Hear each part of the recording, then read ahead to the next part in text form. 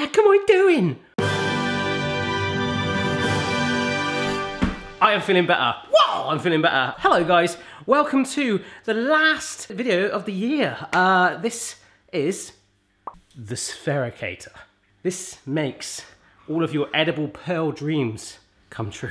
So on the last video, I kind of teased the idea that I wanted, with it being Christmas, I wanted to do like a Christmas dinner theme thing. There's two reasons I'm not doing that. One, it's very much Christmas. I just went in the shops and everyone is buying Christmas dinner things. It was horrendous. The other reason was I want this to work because if you remember the uh, Will It SodaStream video with Stuart, I have an idea to do a Will It Sphericate uh, video with Stuart or maybe with someone else.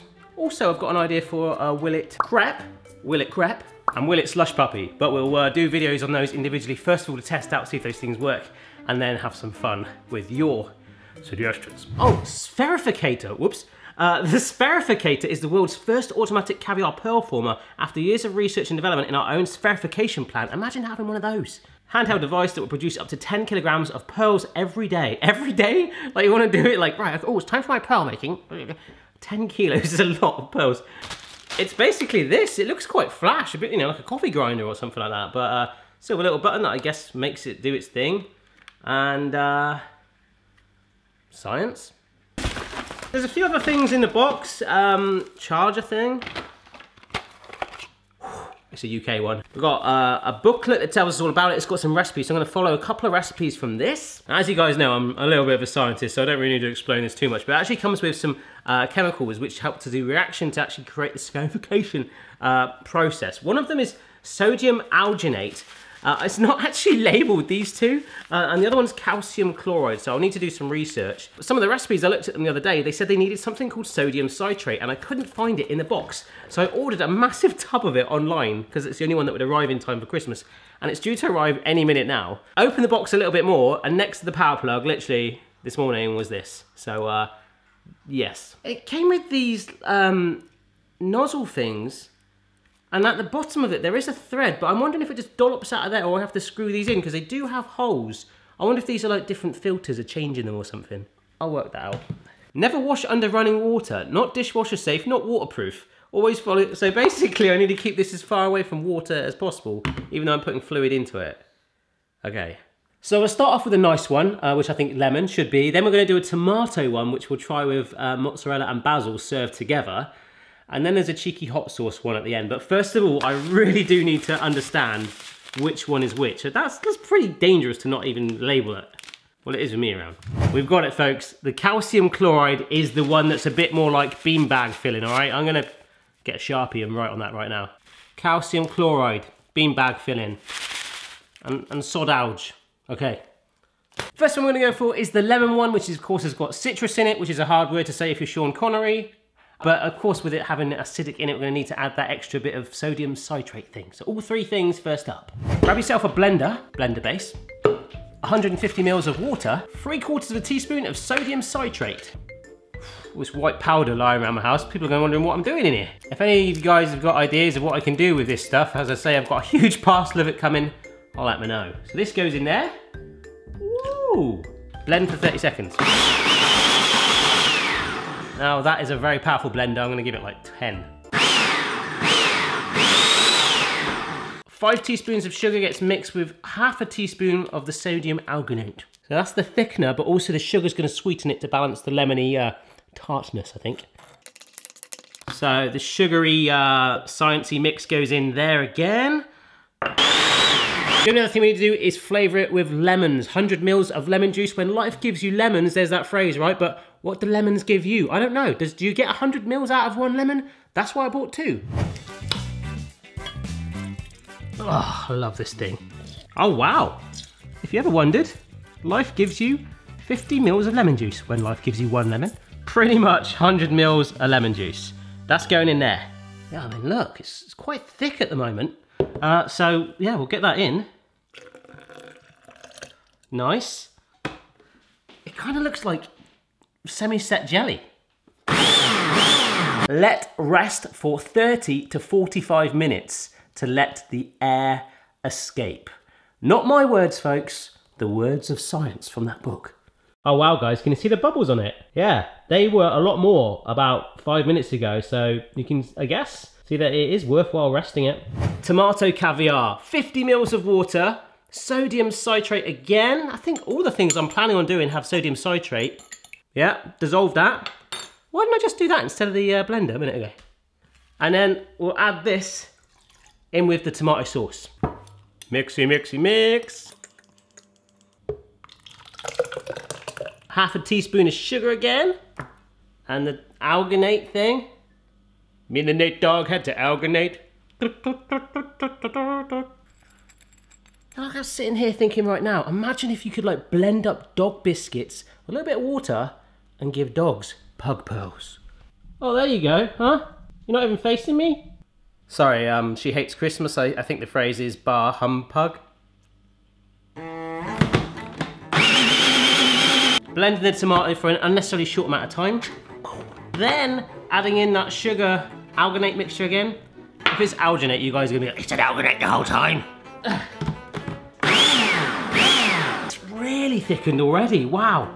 Uh, let's get that into a bowl, and again, we leave it to rest. Just like that guy down there. And those guys down there. And this guy over here. All right, so out you come. Look at that. Can't see any air bubbles in that one, but we do leave it to rest.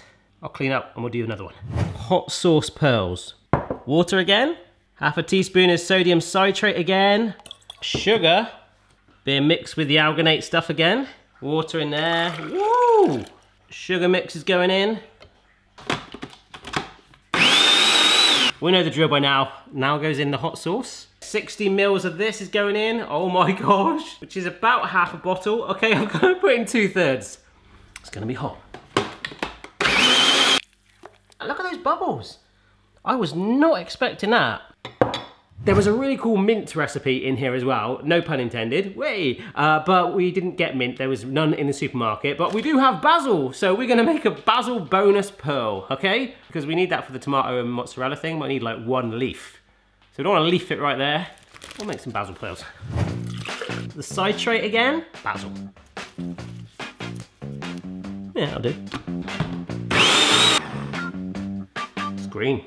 Sugar and the algatate thing again. Look at the foam on it. I feel like I'm in one of them fitness healthy channels. Oh yeah. In that goes, oh wow. It fizzed up then like a, like a sort of Harry Potter kind of potion. And this is a mixture of 50 grams of water, 50 grams of sugar, like a poor man's sugar syrup, equal parts, 50-50. Oh, yeah. Bubbles as well. Definitely not as acidic. But I do feel like the consistency of all of the fluids we made are very similar. Wow, that's pretty cool. Uh, so they are resting, as we know. Some have had a little bit longer than others. In fact, the other one is probably ready now up to 45 minutes to aerate. They each get individually sieved uh, just to sort of make it nice and fine, I guess, and then dunked in some water mixed with a little bit of the calcium chloride and then through the spherificator. Yep, so I can get this bit ready. This is what they'll all be uh, passed through the spherificator into. 500 mils of water and that calcium chloride, which does look a lot like polystyrene balls. We basically want to dissolve that up. We'll get sieving and then we'll get spharing. It's only sphere. So this can go on top of a jug, which is good because it's got a spout so we can easily get it in this. Oh wow, there's a real foamy top on it still. But we're gonna pass it through the sieve. Now, the sieve actually is one of the most annoying things to wash up normally. Uh, I guess this is making it smooth. Power goes in here. And there we go, that's the inside of it. And can you see, if you look very closely there, it all filters through that little hole there. So maybe that's what starts the process. Something happens in here, and then we put it into our chloride mix. I've just got a fear though, I'm gonna pour it in, and it's gonna come out straight away. Oh, it's not. This is going on, okay. Press the button on the spherificator and drop the lemon solution into the calcium bath and leave to sit for one minute. It's science time. It all comes down to this. Oh my gosh, here we go. Oh. look, it's like weeing. They might not look perfect, but I think we might have got something. I just got to run this thing dry now because it's the only way I'm going to clean it out, isn't it? Apparently I can't put it in water. Okay, it's been a couple of minutes. I'm mulling over thinking, how am I going to clean it out? I'm not worried about that right now. Let's just see if the first batch has worked. So in goes this. Oh my gosh. Uh, okay, what's this? It's all a bit, some of it's stringy. Hang on a sec, let me try and get it on a spoon. This is great. This is this isn't so good that bit. Don't get too excited with it. Make sure you fire it like in little bits. It does say to give it a wash and strain it one more time. Look. Lemon spheres, look, that's awesome. And it's a bit stringy, but look, that is really good spherificated lemon right there. Apparently when it comes to cleaning this thing, the best thing to do is drain it entirely, which I just done, and then just keep topping it up. So the first ones might have some traces of other bits, but it's all good. That's not going through at all. Oh! The heck am I doing? I just, just sphericated a blob of tomato sauce. I mean, it worked. Do I even need this? Yeah, well, it's joined together.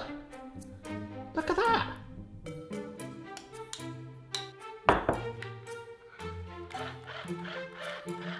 Bigger chunks than before. I feel like I should have put the small nozzle on that one.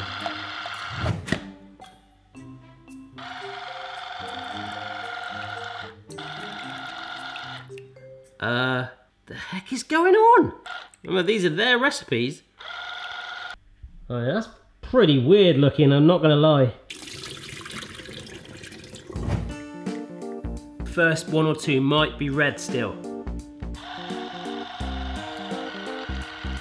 Yeah, I mean the last few on that one, the foam uh, was even getting in there as well. Look at that. Oh, wow. It's like my Christmas tree. So it's all got a bit crazy. The water was drained off, so I had to use a tea towel just to soak up a bit. But I'm gonna present this to you the way it should be. Proper caviar on a silver spoon. On our first spoon, ladies and gents, are the lemon ones. And they look sensational. The shape is awesome. Uh, it sounds good. This is a good thing. It looks like the sort of thing that you might get your mum for a bubble bath for Christmas. But I'm happy with this one. All right, so this is the second one, uh, the tomato one. Uh, ended up looking a bit more like baked beans or even blood vessels. But they suggested serving it with a slice of mozzarella and some basil, so I have done just that. This next spoon doesn't really want to stay still. It's the hot sauce one, which was, I don't know, just like lumpy porridge. But if you look at it, actually, to a degree, there are some sort of spheres in there. It has, I guess, still worked and certainly going to have the kick in flavour. And last but not least, this is the basil, uh, which despite the foamy topping when we uh, sieved it out, actually, again, looks okay. The best spherification is a lemon one, but this still works. And you could put a little bit of it on top of your tomato one and have like a proper basil and tomato spherification thing going on. So there we go. Okay, let's have a quick taste test. The other thing I've been thinking while I've been doing this whole process is, is this like an alternative to jelly for like vegans and vegetarians by not using gelatin? I don't know. Lemon. Oh, wow. That is bitter. And like a frog spawny. Oh my god, it's so like slippery and salty. It still tastes a bit acidic. Mmm. Like not not not not even lemony bitter actually towards the end. Ah. Ah. The tomato one, I'm going to take this with some basil, I think.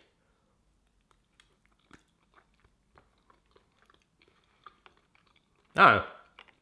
To be honest, I didn't even taste the tomato. That tastes pretty good. I'll have some on its own. Ooh, that actually tastes better than the lemon one. That's really sort of sweet. It's, it's, it's actually just like having a little bit of salsa. That, that, that works. Hot sauce porridge mush. Ah, wow. Woo! That went right to the back of my throat like speckled. Boof. Ah, woo. That's got some heat, but again, that texture. I grew up like eating tapioca and, and rice pudding and stuff like that, and so I like that kind of texture. It's just weird in that sense. And my last minute basil, also sometimes my nickname, Oh, wow. That did have some sugar added to it as well, but that, you can really taste the sweetness in that. I mean, basil's a fairly sweet herb anyway, but like, I like that. It's got a real nice punch to it. So this, oh, should we do it? Yes. Look at that. Basil and tomato on one. That's pretty darn good. This has been up there with one of my top three strangest experiences. I can't talk about the other two. So there we go. It wasn't ideal at times, but I now know how to use it. So if you'd like to see a Will It Spherificate video with a fellow YouTuber, do let me know what you'd like to see us spherificate. I'll experiment with it a little bit more and we will no doubt make that video. Thank you so much for all your support in 2018. This is my last proper film video. We've crawled over the line the last couple of weeks because I've been the ill health in our house. We've all been like Gollum. Blah. But thank you so, so much. Uh, the last video of the year will be a, a montage of 2018's best bits. Thanks so much. Have a great Christmas and New Year and I'll see you soon. Check your level player. No matter what your style, the kitchen's for me, Simon's moustache, goatee, maybe all three. Oh, actually, one more idea. Check this out. Now it's double lemonade. Awesome. Right, now run along, go eat lots of food and have a lovely festive season, and we'll kick butt in 2019, I hope.